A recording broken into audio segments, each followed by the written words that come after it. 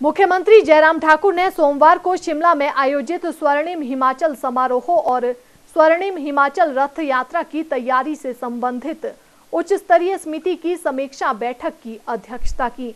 इस अवसर पर मुख्यमंत्री ने कहा कि स्वर्णिम हिमाचल समारोह का आयोजन वर्ष भर धूमधाम से किया जाएगा, जो प्रदेश के पिछले 50 वर्षों की शानदार विकास यात्रा को प्रदर्शित करेगा। मुख्यमंत्री जयराम ठाकुर ने सोमवार को शिमला में आयोजित स्वर्णिम हिमाचल समारोह और स्वर्णिम हिमाचल रथ यात्रा की तैयारियों से संबंधित उच्च स्तरीय समिति की समीक्षा बैठक की अध्यक्षता की। जयराम ठाकुर ने कहा कि इस पूरे आयोजन को दो भागों में विभाजित किया गया है। पहले कार्यक्रम में स्वर्णिम हिमाचल रथ यात्रा होगी, जो इस वर्ष 15 अप्रैल से आरंभ होगी और इक्यावन दिनों तक चलेगी। दूसरे कार्यक्रम के अंतर्गत स्वर्णिम हिमाचल उत्सव मनाया जाएगा, जिसके अंतर्गत वर्ष भर प्रदेश के विभिन्न भागों में कई विभागों द्वारा इक्यावन कार्यक्रम आयोजित किए जाएँगे। उन्होंने कहा कि राज्य के गौरवशाली इतिहास के बारे में युवाओं को शिक्षित करने पर विशेष ध्यान दिया जाना चाहिए। युवाओं की सक्रिय भागीदारी सुनिश्चित करने के लिए विद्यालयों और महाविद्यालयों स्तर पर भाषण, प्रश्नोत्तरी, निबंध लेखन, चित्रकला प्रतियोगिता, नाटक इत्यादि कार्यक्रम आयोजित किए जाएँगे। शिक्षा विभाग को इस दिशा में विशेष प्रयास करने चाहिए ताकि युवा पीढ़ी प्रदेश के समृद्ध इतिहास और अतीत पर गर्व कर सके।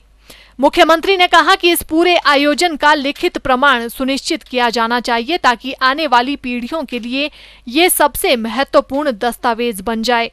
उन्होंने कहा कि राज्य सरकार के संदेश को जन जन तक पहुँचाने के लिए स्थानीय कलाकारों की भागीदारी सुनिश्चित की जानी चाहिए।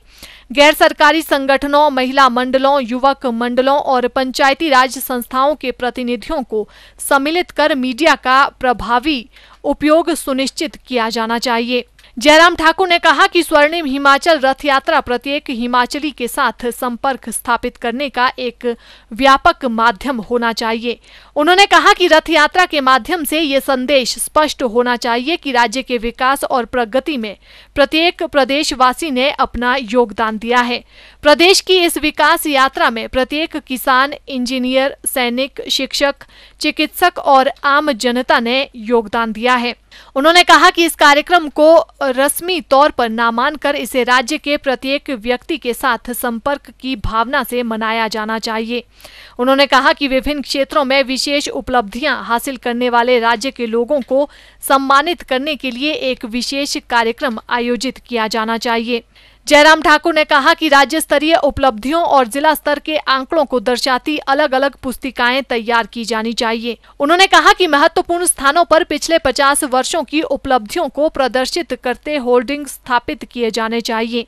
पर्याप्त प्रचार सामग्री तैयार कर प्रदेश के लोगों को उपलब्ध करवाई जानी चाहिए। दो पार्ट में हमने इसको बांटा है। एक पार्ट तो यह है कि हमने एक साल भर जो इवेंट्स करने हैं वो है। हमारे 50 इयर्स कंप्लीट हुए 51 ईयर हम एंटर कर चुके हैं। 51 इवेंट्स का हमने ज़िक्र किया है। स्टेट लेवल के मेजर इवेंट्स हमारे 51 का ही नंबर करना चाहिए। सबसे ज़्यादा हमारा फोकस होना चाहिए जो नई जनरेशन है।